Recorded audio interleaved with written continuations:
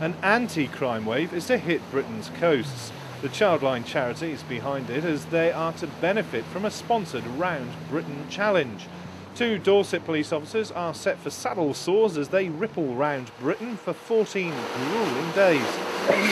They're currently in the middle of training for the challenge, practicing boat to ski transfers.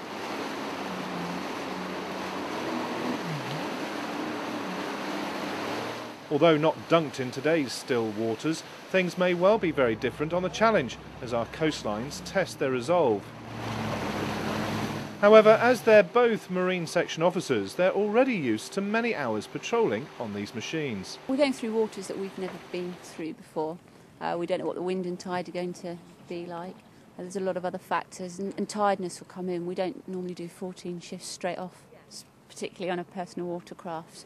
Um, so it will be testing to say the least, but I think we can achieve it. This may be fun on a sunny day, but the idea of the challenge is to highlight the service that Childline provides by raising money for the charity and making children aware of the phone number.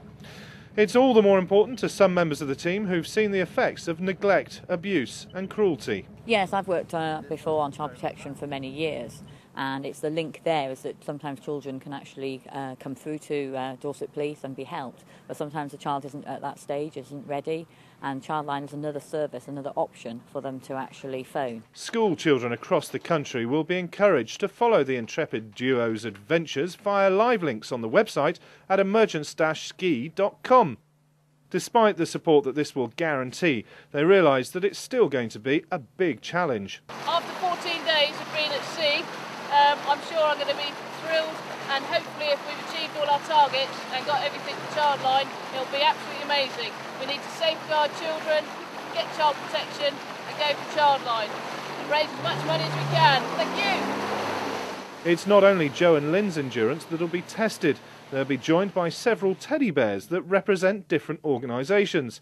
However, it's not clear so far whether they'll be volunteering to take their turn riding bareback. Adrian Butterworth, Emergent Ski, Saltern Marina Poole.